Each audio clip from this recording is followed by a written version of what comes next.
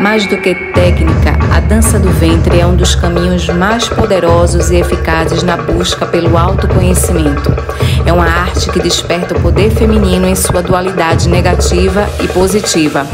Do lado negativo, abrange a apresentação de um conjunto de sentimentos que atrasam e comprometem o ser, como ciúme, inveja, raiva, vingança, medo e ódio.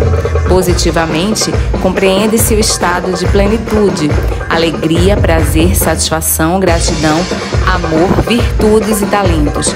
A dificuldade de realizar determinados movimentos e as reações comportamentais nas relações no meio da dança, colegas de estudo, professores, avaliadores e público são indicadores de sentimentos, desejos, traumas e crenças que foram jogados na sombra. Observar as partes do corpo que apresentam mais resistência para realizar movimentos da dança podem servir como um sinalizador para estar frente a frente com bloqueios. A dança funciona apenas como um scanner que revela toda a nossa sombra.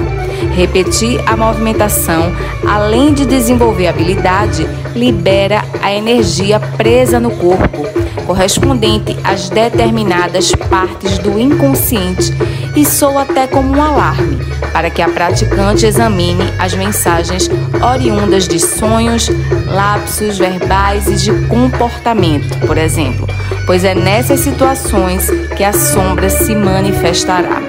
A dança pode trazer o suporte emocional para que a pessoa se sinta mais confiante. A dança do ventre e suas vertentes são uma das modalidades de dança que mais trabalha a consciência corporal. Conhecendo e desenvolvendo o corpo, ocorre a liberação da força do feminino em potencial infinito gera encantamento e fascínio, trazendo à tona o que se esconde em seu íntimo.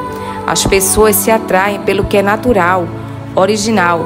Ao ver uma apresentação, grande parte das mulheres se sentem chamadas para esse mundo de graciosidade e movimentos surpreendentes, mas muitas desistem ao se deparar com a falta de conhecimento e habilidade do próprio corpo e da consciência emocional.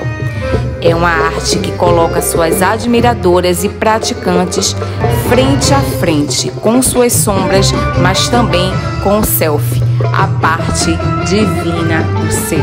Com a prática, esse processo avança e se torna progressivamente agradável à medida que dissolvemos a sombra na fusão do ego e do self.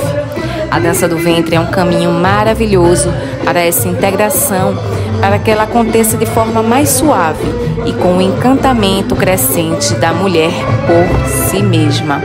Esse é um trecho do livro Dança do Ventre e a Sombra de Nila Nurai.